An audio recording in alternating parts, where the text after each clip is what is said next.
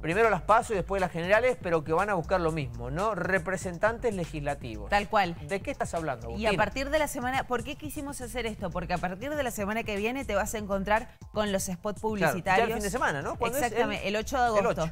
Así que, bueno, para que empieces a, básicamente, a escuchar con atención para saber qué es lo que va a votar, vas a votar en estas elecciones. Sobre todo porque dicen las encuestas que hay una cantidad importante de indecisos, de aquellos que todavía no, no, definen su voto. Y lo que se dice también es que en estas elecciones de medio término quizás uno le pone un votito a alguien que en una elección de ejecutiva, que en donde elegimos presidente, no lo haría. Si arriesga un poquito más, ¿cuál es tu sensación en ese sentido, Tano? Eh, puede ser, sí, sí, sí.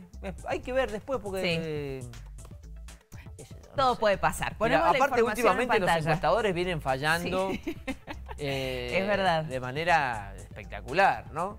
Así que bueno, vamos a poner igual en pantalla. Efectivamente, ponemos la información en pantalla para dar cuenta de qué es lo que va a pasar en estas próximas elecciones. El 12 de septiembre son las PASO.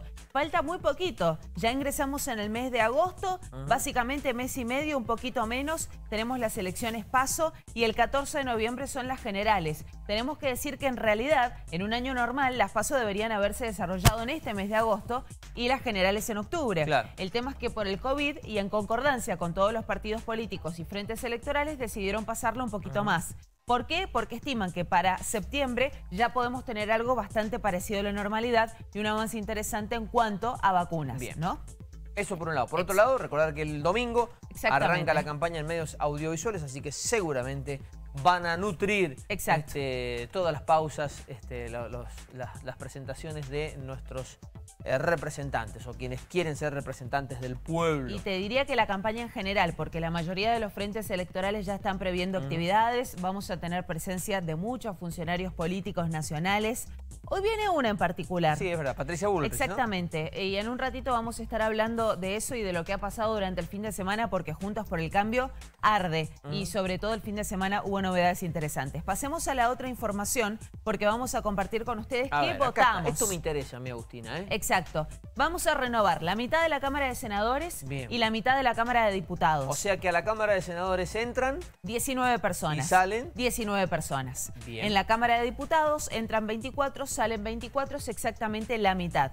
Lo mismo que ocurre en los consejos deliberantes, pero aquí hay que hacer una distinción, porque en algunos consejos deliberantes de departamentos más chicos están compuestos por 10 personas y otros consejos por 12 personas. Con lo cual en algunos van a salir 5 y entran 5 y en otros salen 6 y entran 6. Todos ellos asumen en mayo del año que viene. Exactamente, por eso en algún momento se especuló con que las elecciones de Mendoza iban a ser recién el año que viene. ¿Te acordás que lo explicaba el ministro Víctor Ibáñez? Porque decía, si el mandato termina el año que viene recién en abril, ¿por qué hacerlas tan antes? Bueno, decidieron ir en conjunto con la Nación, por lo tanto, los eh, legisladores que están vigentes hoy van a estar hasta mayo del año que viene y allí se hace el recambio. De todas maneras, cumplen también estas elecciones una función que es la de que ustedes y nosotros juzguemos en cierta medida a quienes están hoy por hoy al mando, ¿no? Entonces se toma muchas veces este punto intermedio como decir, bueno, hay aval o no hay aval, estamos de acuerdo o no estamos de acuerdo con el desarrollo que quien gobierna viene llevando adelante de acuerdo a los resultados que se dan. También tiene esa forma de poder ir nivelando las fuerzas. Está todo bien pensado. El problema es que después, bueno, hay que llevarlo a la práctica. Sí, tal cual. Y sobre todo considerando la noticia que tuvimos el viernes pasado de este aumento para los legisladores, oh. que nuevamente genera polémica, que tenemos que decir, mientras pasamos a la otra información, yo les voy contando, que mm, el aumento de los legisladores es algo que les correspondía, porque estamos hablando de un 12% que les llegó absolutamente todos los trabajadores estatales, sobre todo aquellos que forman parte de Administración Central, y los legisladores dependen de la paritaria administración central. Claro, lo que pasa es que no es lo mismo un aumento del 12% en un sueldo de 40 mil pesos que en uno de 200 mil. Con lo cual, a ver, para redondear, los legisladores van a terminar cobrando 230 mil pesos. 30 mil pesos Exactamente, de, aumento. Que reciben de bolsillo. ¿eh?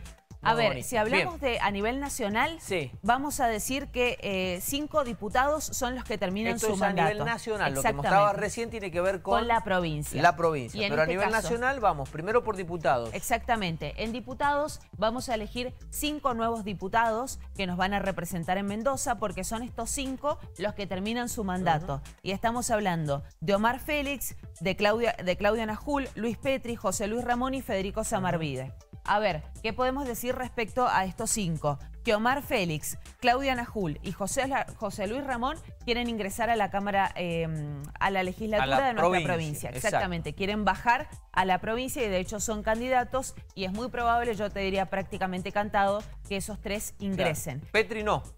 Petri, no estuvo, a pesar de que quería ser candidato, se ha quedado fuera de estas elecciones y en el caso de Federico Samarvide va a ser un candidato suplente en la lista de diputados nacionales. Bien. Y si pasamos a la última información, nos vamos a encontrar con la Cámara de Senadores de la Nación, en donde hay tres legisladores, únicamente tres que representan a Mendoza y los tres terminan su mandato. Hablamos de Julio Cobos, de Pamela Verazay y de Anabel Fernández Agasti. Julio Cobos, que está en la Cámara de Senadores, va a ser candidato por la Cámara de Diputados y es muy probable que ingrese. Anabel Fernández Agasti, que está en la Cámara de Senadores, va a ser nuevamente candidata a la Cámara de Senadores. Y Pamela Variasay va a acompañar a Julio Cobos en la lista de candidatos a diputados nacionales. Fíjate cómo todo se reconvierte. Sí, entre cruza, ¿no? Sí. Bueno, esto es lo que ustedes van a poder elegir, eh, lo que todos vamos a poder elegir en definitiva, y queríamos también hacer este repaso para terminar de armar un mapa, ¿no? En la cabeza de cuando vayas a votar sepas justamente de qué se trata esta elección intermedia que se va a dar en todo el país. Y lo vamos a volver a hacer ya más centrado el momento culmine de la campaña y llegadas a las próximas elecciones. El 12 de septiembre entonces son las PASO y el 14 de noviembre las generales. ¿Para qué sirven las PASO? Si cierro con esto, Agustina. Bueno, para... Este... Dirimir internas. Exactamente para eso y para ver quién queda habilitado. Pues no hay mucha interna, sería lo ideal, pero no la utilizan mucho para eso. Pero también recordemos que hay un piso que tienen que superar para quedar habilitados a participar después de las elecciones generales. Así es, tal cual, que es del 1,5 a nivel nacional y del 3% a nivel provincial. Cambiamos de tema, 7.50.